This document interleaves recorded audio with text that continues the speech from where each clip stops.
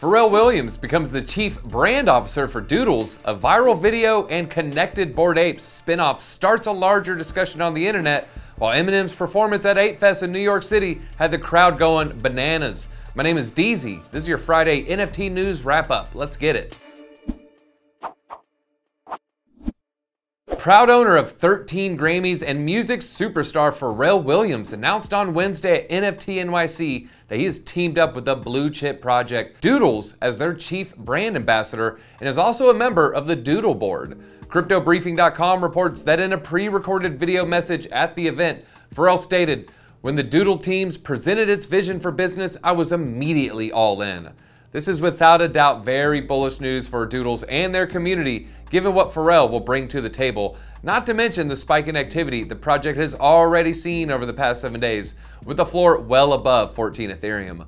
The music icon will not only help direct Doodles' approach to reaching new demographics through an array of different artistic mediums, but Pharrell will also be an executive producer on Doodle's themed music album that will be released by Columbia Records. The album will be called Doodle's Record Volume 1, and considering it says Volume 1 in the name, that implies that Pharrell and Doodles will work hand in hand together for many albums and years to come.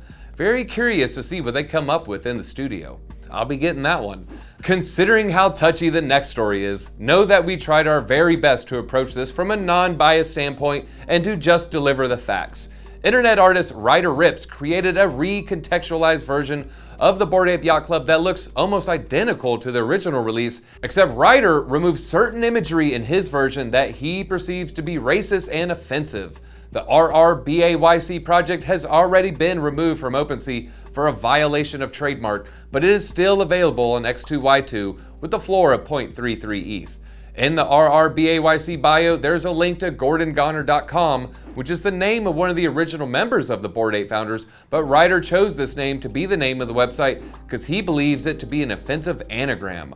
The website itself, created months ago, is an explanation on why the yacht club uses racist, esoteric imagery embedded with neo-Nazi dog whistles as a nod to the alt-right and 4chan culture.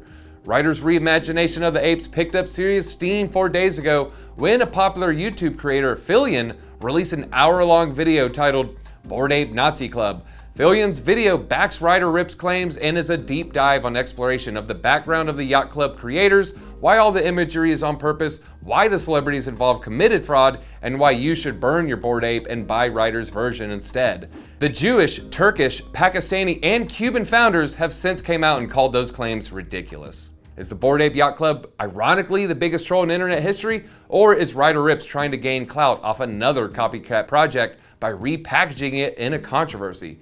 You don't know, Ryder Ripps already reimagined the CryptoPunks, calling them Crypto Phunks, and they face left instead of right. Political pun intended. While the internet exploded this week arguing over who is right or wrong about the esoteric imagery, or if the whole thing was a publicity stunt, ApeFest raged on for four days at Pier 17 in New York City. This exciting event was sponsored by Polygon. It was exclusive for the Bored Ape and the Mutant Ape holders and their plus one.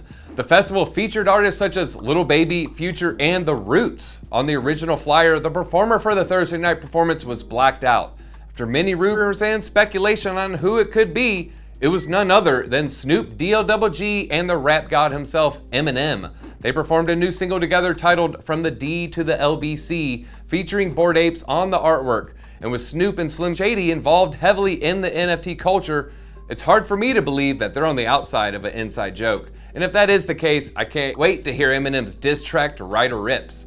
That's all I got, and be blessed. It's easy out.